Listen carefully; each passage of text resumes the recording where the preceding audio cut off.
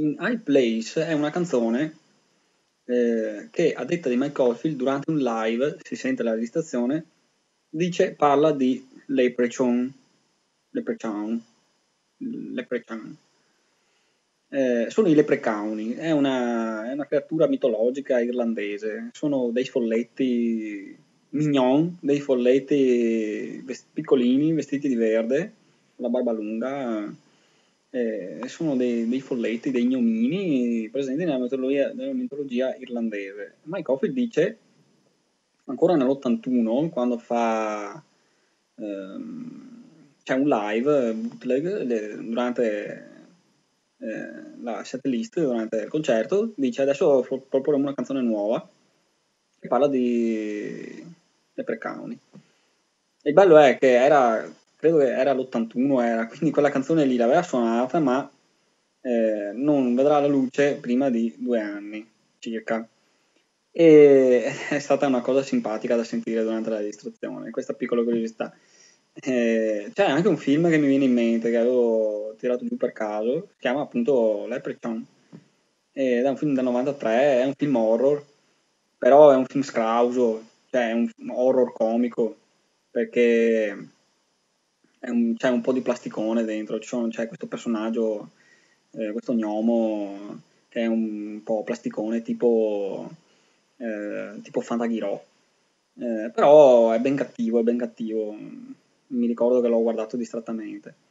E, e mi è subito tornata in mente in High Place questa canzone, Nelle alte sfere, cantata da John Anderson, che ha un bel eh, arpeggio di, di, tastiera al suo interno e ha una bella, una bella melodia. Concludiamo Crisis eh, parlando, accennando a Taurus 3, che è la terza e ultima parte della serie Taurus iniziata con due album precedenti, con QE2 e, con, e continuata con Five Miles Out, la canzone più corta del disco. Eh, questo gioiellino, veramente gioiellino, perché è tutta una, una, un pezzo musicale spagnolo con un sacco di chitarra eh, classica e spagnola. Eh, ci sono un sacco di, di sovraincisioni di chitarra su, sulla parte finale di questa, di, di questa canzoncina, ce ne sono tantissime, non so quante sono, ma quando si alza il volume spara tantissimo. E la chitarra di acustica di Mike Oldfield è veramente eccezionale perché ha un bel suono spagnolo, un bel suono pieno. E anche la melodia è molto carina.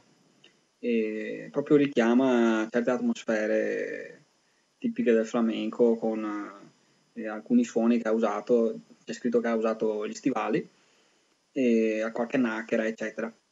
Questo disco qua eh, è stato molto importante perché ha portato di nuovo Mike eh, al grande pubblico.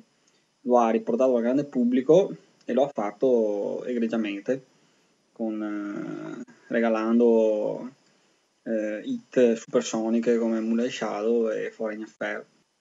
Per adesso la formula adottata da Mike per accontentare la Virgin, cioè di mettere eh, nell'atto A una, un pezzo lungo eh, per soddisfare i bisogni creativi di Mike e nell'atto B tutte canzoni cantate per soddisfare la, la Virgin.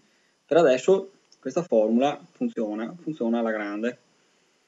Eh, la farà ancora un po' prossimamente su qualche altro album. L'aveva già fatto prima, sempre proprio per lo stesso motivo è stata, è stata una bella genialata da, da usare. E con questo ci rivediamo alla prossima puntata. Ciao a tutti!